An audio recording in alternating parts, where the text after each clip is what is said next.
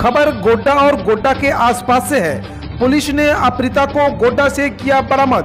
Dhankunda police ने शादी की नियत से अपहृत युवती को झारखंड के गोड्डा से बरामद किया है।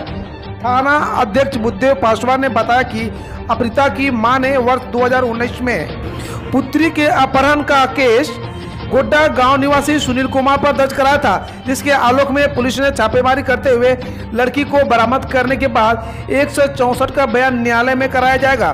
धौरैया पुलिस ने अपहृत महिला बीना देवी को उसके ससुराल से बरामद किया है। महिला के ससुर ने अपनी बहू के अपहरण को लेकर थाना में केस दर्ज कराए हुए बांका के विजयनगर गंगस्वामी पर केस दर्ज कराया था। थाना अध्यक्ष महेंद्र प्रसाद ने बताया कि महिला के ससुर द्वारा लगाया गया आरोप जाँच के दौरान झूठा साबित हुआ।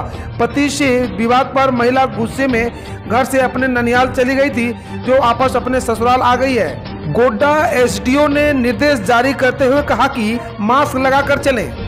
उपायुक्त भोर सिंह यादव के दिशा निर्देश पर अनुमंडल पदाधिकारी ऋतुराज के नेतृत्व में शुक्रवार को जिला परिवहन कार्यालय, कर्मी एवं ज़िले के विभाग के दंडाधिकारी के द्वारा गोड्डा शहरी क्षेत्र अंतर्गत विभिन्न चौराहों पर दो तीन पहिए वाहन चालक आम जनों के बीच मास्क जाँच अभियान चलाया गया। इस दौरान एसडीओ ऋतुराज ने कहा कि कोरोना को हल्के में लेने की भूल नहीं करें। आम लोगों को घर से बाहर निकलते ही मास्क का प्रयास करना चाहिए। जाँच के दौरान दो तीन पहिया वाहन, बड़े वाहन परिचालन करते समय तथा पैदल यात्री को अनिवार्य रूप से मास्क पहनने का निर्देश दिया गया। साथ ही लोगों को कड़ी हिदायत भी दी गई कि अगली बार मास्क पहनकर घर से बाहर निकलें। अनुमंडल पदाधिकारी कहा कि सभी लोग मास्क का प्रयोग और शारीरिक दूरी का पालन करें, तभी कोरोना से जंग से जीता जा सकता है। उन्होंने कहा कि यह अभियान लगातार शहर में चलाए जा रहे हैं, इसलिए आप सभी बिना मास्क के अपने घर से बाहर नहीं निकलें। शारीरिक दूरी का खासा ख्याल रखें। वाहन चलाते समय भी मास्क का प्रयोग अवश्य करें। साथ ही ट्रैफ़िक के नियमों का भी अनुपालन करें। मानव तस्करी की शिकार बालिका को परिजनों को सौंपा।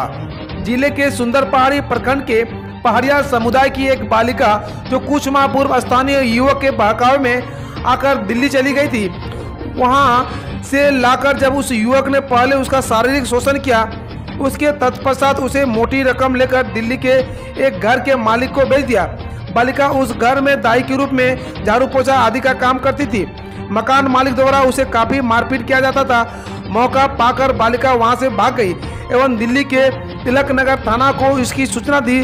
तिलक नगर थाना ने सुंदर पहाड़ी थाना प्रभारी से संपर्क कर उस लड़की को यहाँ से मुक्त कराया। सुंदर पहाड़ी थाना प्रभारी रंजन के व्यक्तिगत प्रयास से बालिका दिल्ली से वापस लाकर बाल कल्याण समिति के समक्ष प्रस्तुत की गई। गुरुवार को समिति ने आवश्यक कागज़ी कार्रवाई को पूरा कर तस्करी की शिकार उक्त बालिका को उसके परिजनों को सौंप दिया गया। बालिका अपने परिजनों से मिलकर काफ़ी भावुक हो गई। ज़िले में औसतन 10 ऑक्सीजन सिलेंडर की प्रतिदिन खपत, कोविड आपदा काल में इन दिनों मेडिकल ऑक्सीजन की आपूर्ति को लेकर चिंता बढ़ी है। स्वास्थ्य विभाग के आईडीपीएसपी डॉक्टर उज्जवल कुमार सिन्हा ने बताया कि ज़िले में प्रतिदिन सभी औसतन 10 सिलेंडर ऑक्सीजन की खपत हो रही है। इसके लिए स्वास्थ्य विभाग और जिला आपदा विभाग की ओर से यहाँ स्टॉक में 100 सिलेंडर हर समय सुरक्षित रखा जा रहा है। ज़िले में ऑक्सीजन सिलेंडर की आपूर्ति महागामा और देवघर की निजी एजेंसी करती है। ज़िले में अभी कोरोना रोगियों के दो कोविड केयर सेंटर, सिकटिया और मर्सी हॉस्पिटल पोड़ियाहाट के आइसोलेशन वार्ड में रखकर ऑक्सीजन थेरेपी दी जाती है। यहाँ कोरोना की रिकवरी रेट बेहतर है।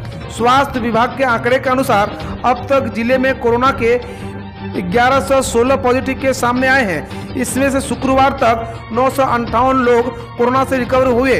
Civil surgeon doctor S P Mishra के माने तो यहाँ दोनों ही कोविड सेंटर में प्रतिदिन क्रमशः पाँच पाँच सिलेंडर की खपत होती है।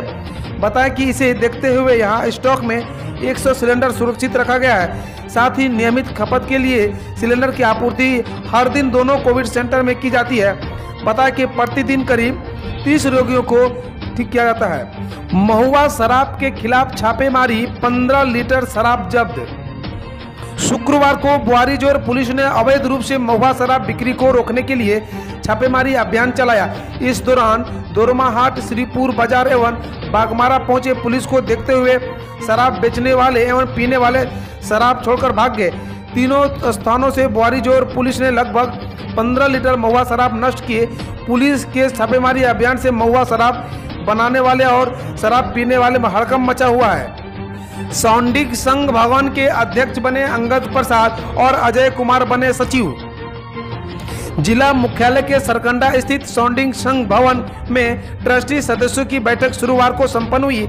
इसमें कई पदाधिकारियों का सर्वसम्मति से चुनाव किया गया।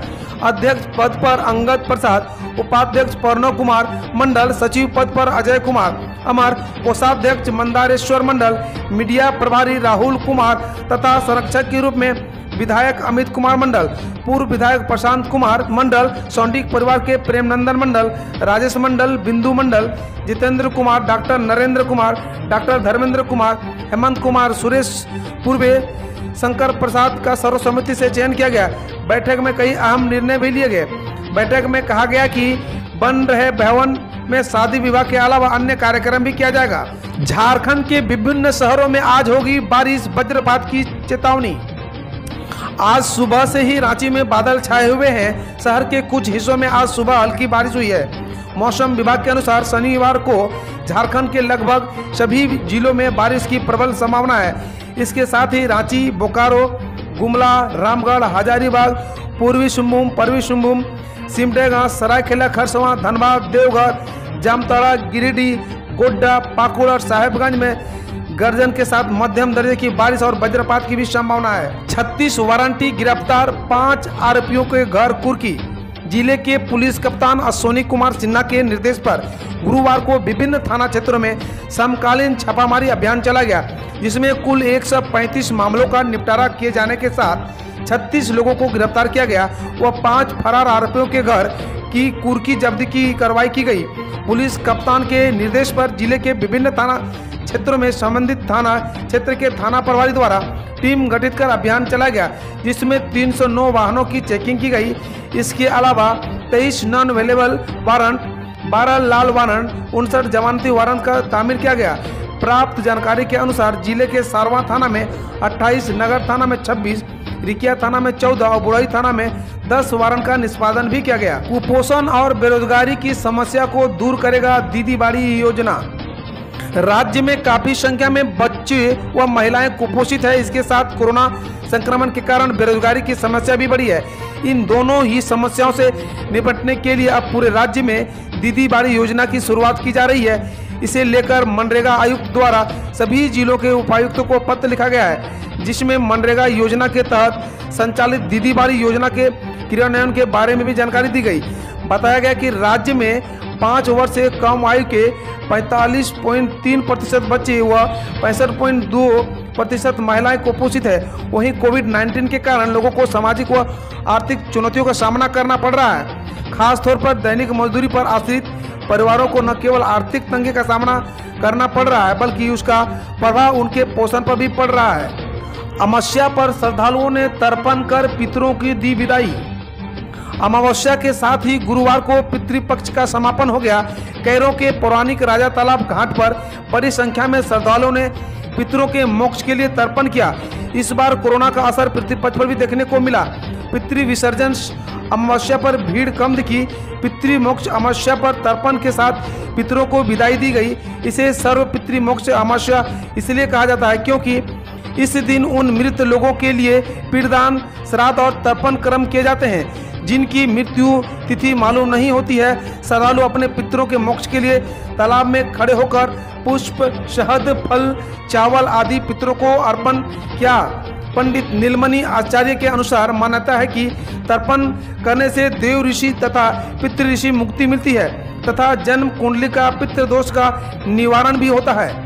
खबर है साहेबगंज के तलझारी से, अयोग्य लोग तीस तक जमा करें अपने राशन कार्ड। प्रखंड सभागार में प्रखंड विकास पदाधिकारी साइमन मरांडी ने शुक्रवार को जन वितरण प्रणाली दुकानदारों के साथ बैठक की। इस दौरान पीडीएस दुकानदार की स्थिति पर चर्चा की और सभी जरूरतमंद को राशन मिले। इसे सुनिश्चित करने पर बल दिया वीडियो ने कहा कि अगर किसी आदिम जनजाति परिवार का राशन कार्ड नहीं बना है तो अविलंब कार्ड बनवाएँ। इसके साथ ही सभी लोगों के कार्ड को आधार कार्ड से जोड़ें। प्रखंड आपूर्ति पदाधिकारी रमेश झा ने कहा कि वैसे लोग जो राशन कार्ड योग्यता नहीं रखते हैं और उन्होंने भी कार्ड बनवा लिया है, वे 30 सितंबर तक अपना कार्ड जमा कर दें। ऐसा नहीं करने पर उनके खिलाफ कार्रवाई की जाएगी। सभी डीलर समय से अपनी दुकानों को खोलकर लाभुकों को अनाज वितरण करें। अनाज वितरण के दौरान किसी भी प्रकार का शिकायत न मिले, इसको ध्यान में रखें। खबर बताया जा रहा है कि पाकुड़ से है। कोयला चोरी पर अंकुश लगाने में सहयोग करें। पुलिस अधीक्षक कार्यालय में गुरुवार को जनप्रतिनिधियों की बैठक एसपी मनीलाल मंडल की अध्यक्षता में की गई। इसमें जनप्रतिनिधियों से कोयला चोरी रोकने में सहयोग करने की अपील की गई है। एसपी ने कहा कि पच्चूवाड़ा कोल, माइंस आलू बेड़ा से लोटामार रेल लाइन साइडिंग तक 55 किलोमीटर की दूरी है। इसके आसपास बहुत सारा गाँव अवस्थित है। ग्रामीण डम्फरों से धड़ल्ले से कोयला उतारते हैं। यह गैर कानूनी है। कोयला चोरी करना अपराध भी है। एसपी ने जनप्रतिनिधियों से आग्रह किया कि कोयला चोरी रोकने के लिए ग्रामीणों के साथ बैठक करें। उन्हें समझाएँ कि कोयला चोरी करना अपराध है। उस पर केस भी हो सकता है। बीजीआर कंपनी के मैनेजर एम आर कुमार ने जनप्रतिनिधियों को आश्वासन दिया कि कंपनी की ओर से जितना मदद संभव हो किया जाएगा। खबर है, दुमका के शिकारीपाड़ा से थाने की बजाय गाँव में ही सुलझाए छोटे विवाद एस डी पी ओ प्रखंड के उत्क्रमित उच्च विद्यालय ढाका में गुरुवार को सांप्रदायिक सौहार्द कायम करने के लिए शांति समिति की बैठक बुलाई गई। बैठक को संबोधित करते हुए गठित जिला स्तरीय टीम के अध्यक्ष S D P O Noor Mustafa Ansari ने कहा कि प्रखंड का सबसे बड़ा गाँव ढाका है। इसमें सभी संप्रदाय के लोग निवास करते हैं। सभी को इस बात का ख्याल रखना है कि किसी तरह की अफवाह पर ध्यान नहीं देकर मिलजुल कर रहे। छोटे विवाद को अपने स्तर से गाँव में ही सुलझाने का प्रयास करें।